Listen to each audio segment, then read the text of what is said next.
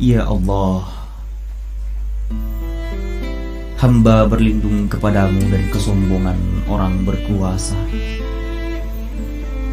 Yang berdiri gagah tanpa punya malu karena merasa diri mereka lebih tinggi dari rakyatnya. Padahal rakyatnya itulah yang meletakkannya di kursi dan membiayai hidup mereka. Namun rakyat itu pula lah yang menjadi sasaran dari palu dan senapan para penguasa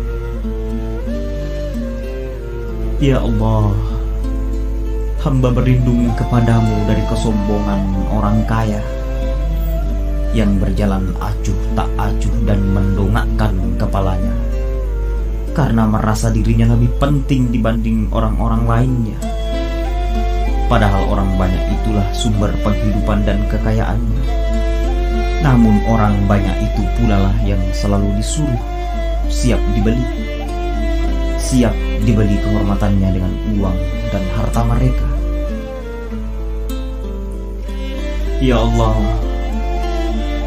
hamba berlindung kepadamu dari kesombongan orang pandai yang selalu merasa lebih hebat dari orang lainnya sehingga ia membuka mulutnya lebar-lebar dan memuntahkan hujan kata-kata yang berasal dari perasaan pandai dan hebat di dalam dirinya. Padahal inti kepandaian adalah kesanggupan untuk mendengarkan serta kerendahan hati untuk tidak banyak membuka mulut dan puncak tertinggi keterpelajaran berbanding sejajar dengan tingkat kesadaran atas kebodohan diri.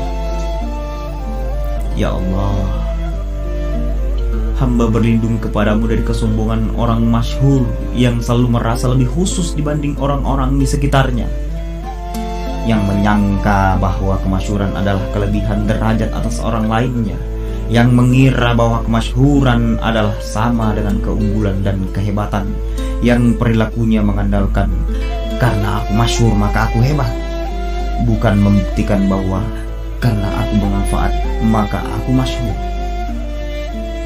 Ya Allah, hamba berlindung kepadamu dari kesombongan orang alim saleh yang ke mana-mana sibuk merasa bahwa yang selain dirinya adalah najis, kotoran, yang tidak punya kemampuan lain kecuali merasa dirinya suci dan selalu benar, yang beranggapan bahwa Tuhan adalah anak buahnya, bahwa para nabi dan rasul adalah staf dan karyawannya untuk melaksanakan kepentingan-kepentingan diri dan golongannya.